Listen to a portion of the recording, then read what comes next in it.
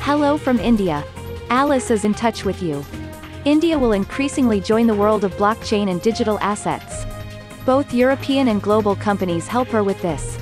The regulated European exchange Stex.com in conjunction with Coinify, a gateway platform for virtual currencies, complemented its functional portfolio by connecting a new way to buy cryptocurrency using Indian rupee.